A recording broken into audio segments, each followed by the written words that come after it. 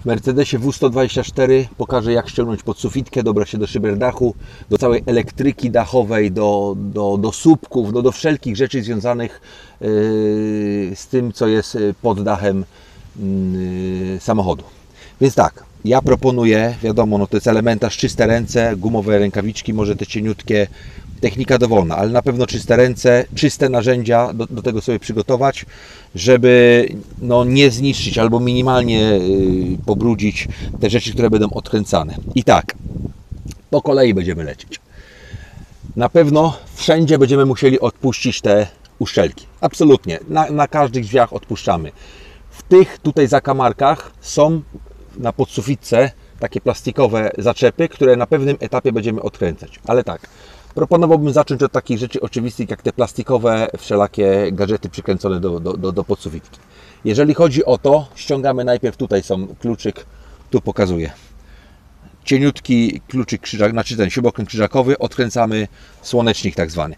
Tu montaż tego zaczepu słonecznika, on jest zamontowany, no tam gdzieś powiedzmy tutaj, musimy to podważyć. Podważyć tak jak widać, w którą stronę.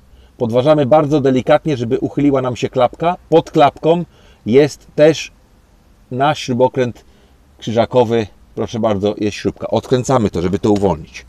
Żeby zdemontować lusterko, normalnie do siebie energicznym ruchem to lusterko przyciągamy. Jest lusterko tak, przyciągamy do siebie, ono wyskoczy. Ono jest tylko i wyłącznie na zaczepach, nic poza tym. Mamy lusterko uwolnione. Pod lusterkiem mamy, mamy taki element mocujący to lusterko. Trzy śrubki, tak jak widać, krzyżakowe odkręcamy. Razem z tym uwalniamy też ten daszek antysłoneczny środkowy.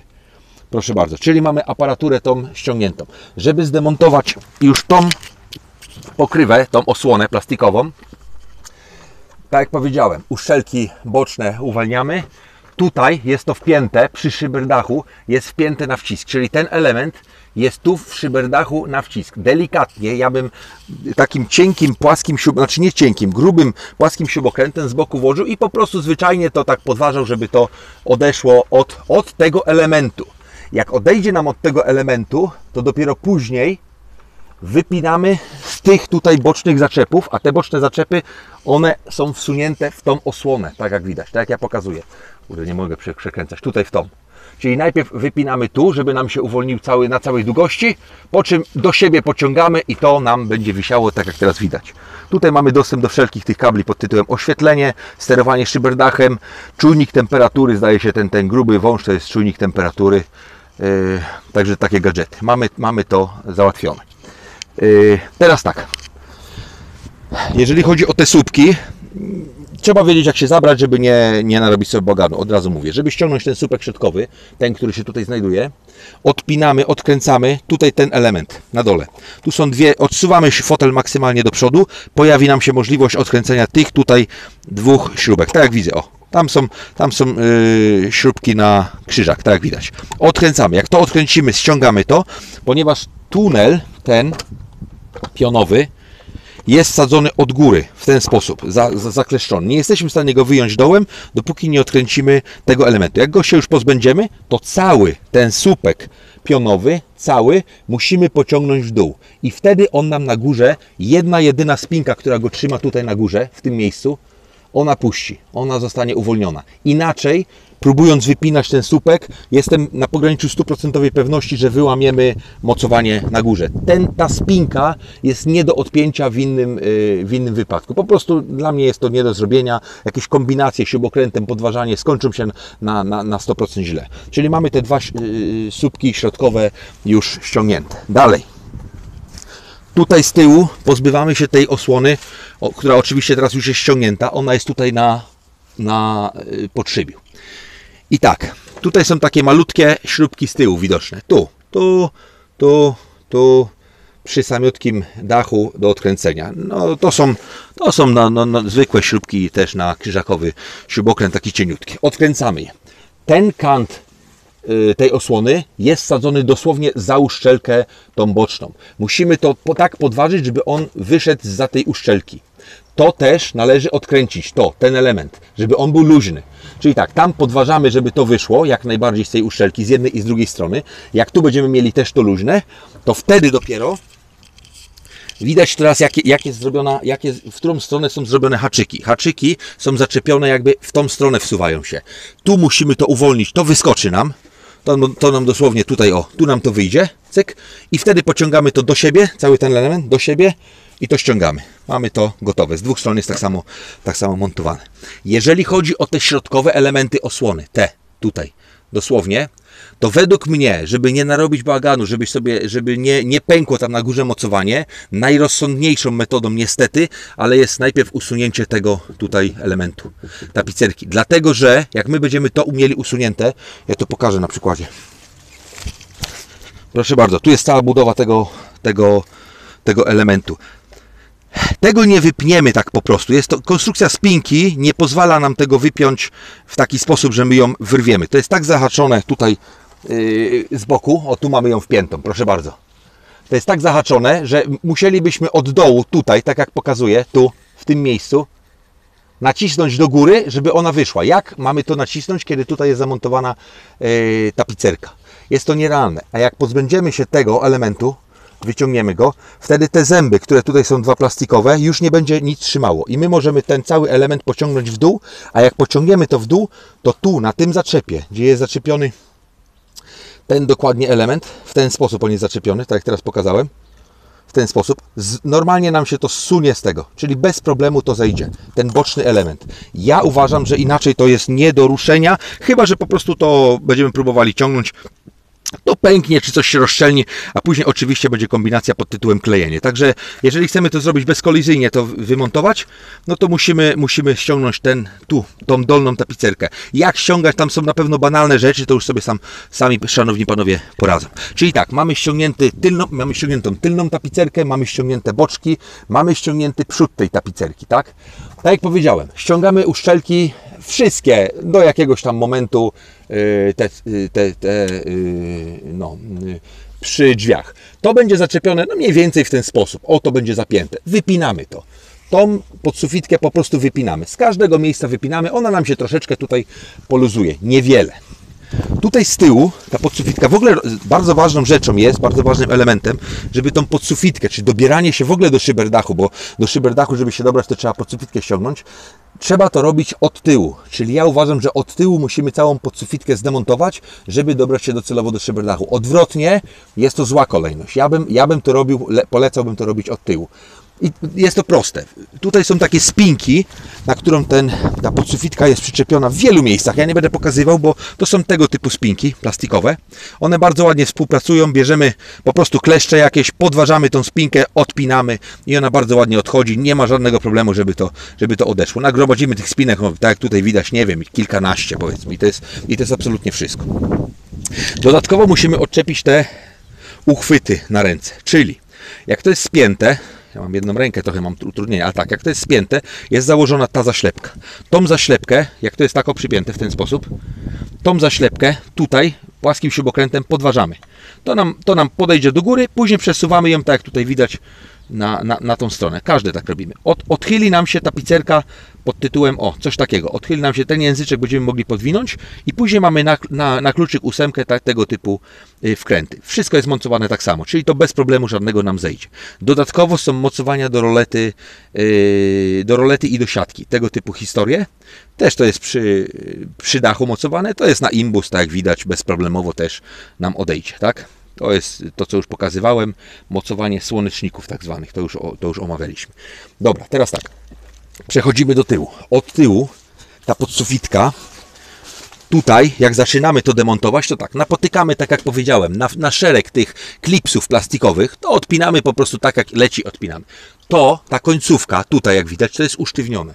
I ta usztywniona końcówka wchodzi tu w te zaczepy w te zaczepy. Czyli my normalnie w, trzy, w trzech zaczepach to jest w trzech zaczepach to, to jest y, przymocowane.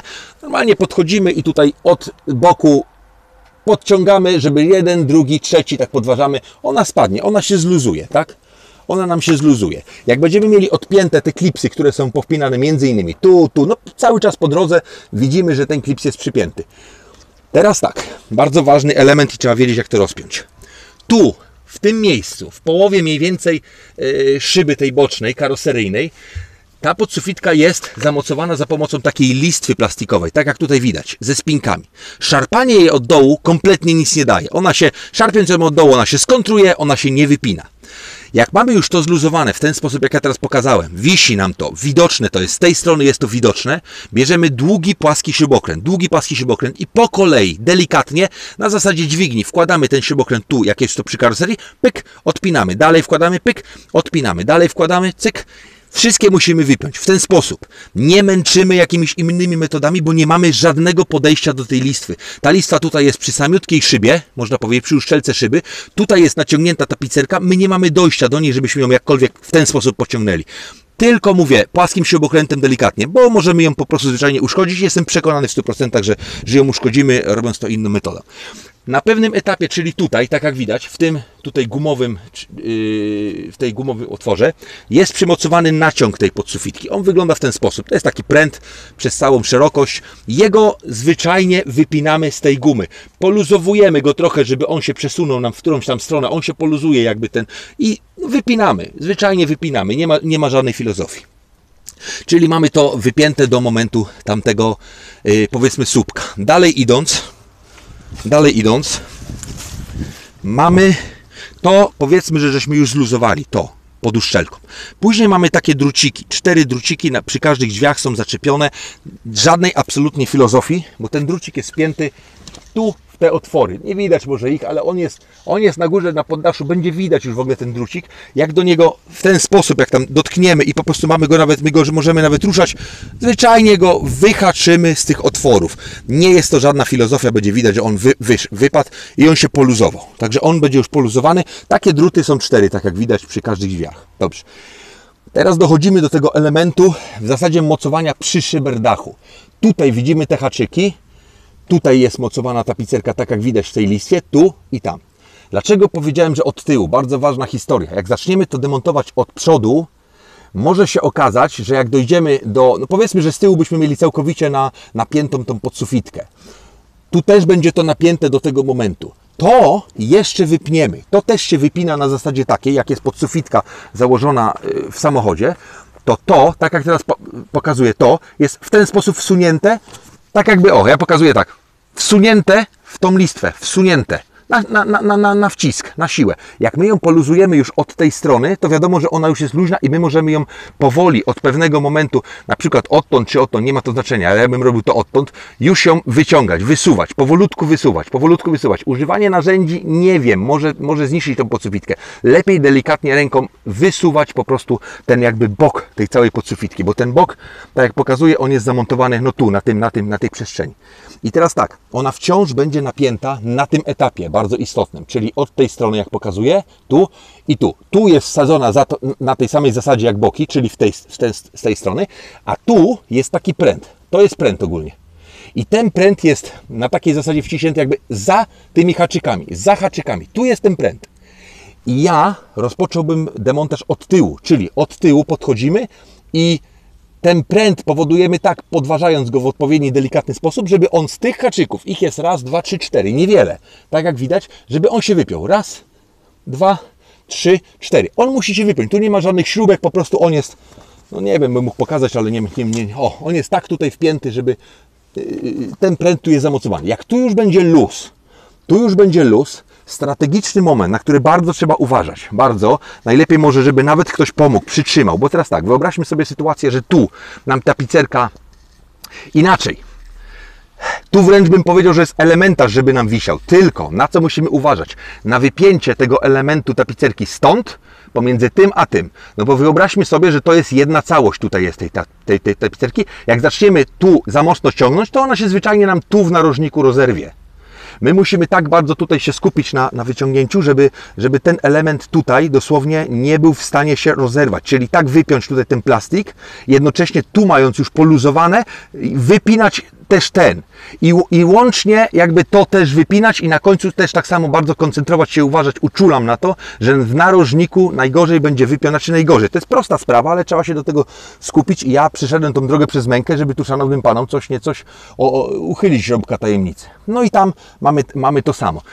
Pojawia nam się szyberdach, pojawiają nam się kanały odpływowe wody, które też warto y, w jakikolwiek sposób, ale y, ja myślę raz na jakiś czas jakoś przeczyścić, przedmuchać. To wszystko jest do zrobienia od góry, ale to jakby teraz nie będziemy tego omawiać. Ja będę demontował ten szyberdach. No nie jestem w stanie zdemontować wszystkiego do zera i, i filmu, ale on już jest tu bardzo klarowny. On jest zamocowany, proszę bardzo, na, na kluczyk dziesiątkę, tak jak pokazuję tu. Na, po całym obwodzie jest, jest dziesiątka. Odpinamy te y, kanały wodne, które są na każdym narożniku. Odpinamy napęd, bo tu jest napęd tego szyberdachu, jak widać. To wszystko, elektrykę, no wypinamy po prostu, e, elektryki nie ma, bo napęd jest, elektryka jest pociągnięta do tyłu.